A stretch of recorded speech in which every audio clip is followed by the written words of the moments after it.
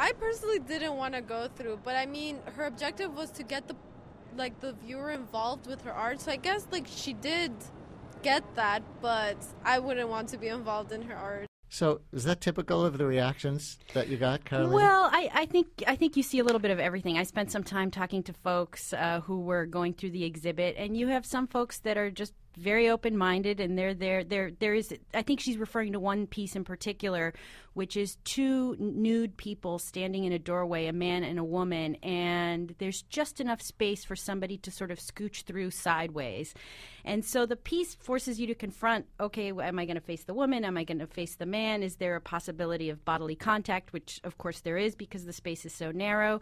Um, and you see all kinds of attitudes. I mean, I think most, by and large, it's very open minded, but then there are folks that are kind of quizzical or they just think it's a little weird. They wouldn't do it themselves, but they'll go look at it at the museum. So that Abramovic exhibit is inside a museum on the top floor, through a door, behind a sign advising guests that there will be nudity.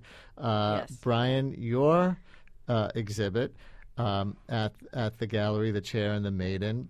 Uh, posed a nude woman right in a storefront window. So walk us through that a little bit. What what was going on there behind the nude? And for people who haven't seen it or haven't thought about what it really meant, what was the point? Well, the point was like I constructed a temple, and uh, I had these nodes uh, to to the spirit world, and I had priests and shamans um, as as nude uh, models there, being being able to access those uh, nodes and having live models. Yes, uh, we had a high priestess right right in front of the store window, and um, many people walked by, and, and they would think that is she real? You know, they they would get very close, and, and then they would walk inside, and and and they were okay. They were completely okay as as long, and then they realized, oh my God, she's she she moved or she blinked a little bit, and uh, that that sensation of you know, I I, I was two or three inches away from a, a nude per- person that I thought was a, a wax sculpture or something.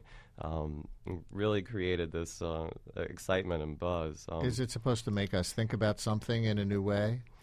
my work is about uh, the meaning of life and interconnectivity, and uh, I Megan became this representation of like this pure body. And if I had clothes or um, had the model uh, portrayed in a way that kept uh, a barrier between her or put a different message out to the public, it wouldn't allow my art to have that interconnectivity and that message that I wanted it to be. And so ha- having a nude model was essential to that that clear and and clean interconnectivity that I wanted. Do you think, Carolina, that the Abramovic exhibit was aiming for a similar thing? Well, I think I think what a lot of these sort of nude performances aim for is, is just sort of this feeling of, of vulnerability that nudity can elicit. I mean, I think a lot of times people confuse uh, a nude model or a nude performer with something that is uh, sexualized. Uh, that could uh, titillate or cause arousal. And I think so often when you see it in these artistic um, settings, especially within the context of performance art, it's a little bit more confrontational. And certainly every artist has their own reasons for choosing uh, to to use a nude model. I mean, I think certainly in Abramovic's case, I mean her root, her work is is rooted uh, in in in the 70s. Uh, she's uh, born in Serbia uh, within a very sort of macho culture, and this idea of like a woman being nude in a non-sexualized way was this very sort of radical way uh, for a performer to think about herself, and and so it, it confronts those those stereotypes that people have about it. Have either of you seen uh, the exhibit that I was referring to that Mayor Bloomberg is photographed looking at? I said City Hall Park. It's actually Madison Square Park, uh, where British sculptor Antony Gormley put 27 anatomically realistic figures based on his own body on the edges of rooftops near the park, plus four more at street level, Yes. according to the Daily uh, News. You've seen this, Brian? Yes, and, and, and you're walking by and people are, are saying, you know, is that person going to jump you know, on the rooftop? And and and I think you know it's uh, it's a great it's a great strategy uh, for the artist to to um, bring people to investigate his work more. And I mean, I think what's interesting about something like Gormley's uh, show in Madison Park is that for so long, nudity has been a part of sculptural art. Certainly, when you think about like classical Greek art and Roman art, and it's a part of our art. If you look at you know arches on city streets and uh, the sculptures in our museums. I mean, you can go to the Met and tour those classical galleries, and you are going to see a lot Right. of nudity. But the classic Greek sculp- sculptors weren't doing it to confront, for example, as you described before. Well, they were doing to document beauty, but I mean, certainly there there's always something I think a little confrontational about sort of picturing a nude body. But I but I think you know, well, what separates that Greek sculpture from what Gormley is doing? It is still a nude.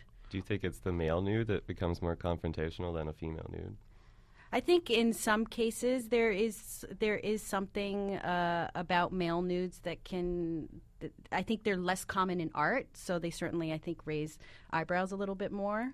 Uh, there was an interesting. Uh, uh, sh- th- there's a photographer in LA who recently had an interesting show uh, where he Marco Zimmerman, who he just photographed working class male nudes, sort of doing what they do in their work, and there is something very unusual about seeing a battery of like male nude photos.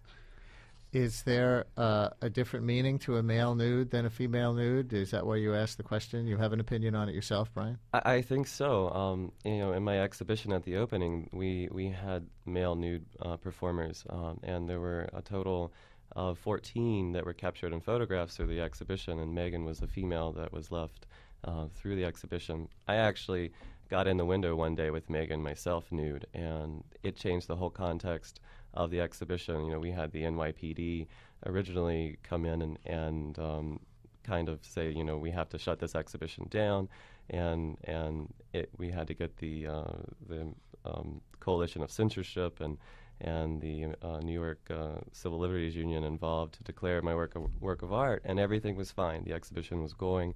There were um, people were coming, and then I got into the window and.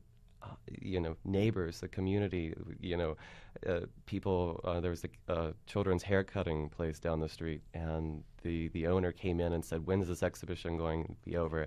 You know, you're you're causing a disturbance to my business." And, and it was, you know, and it's just me. I'm naked. They're standing still, and, and this naked woman had been standing there the whole time, and that and it didn't happen before I got into the window.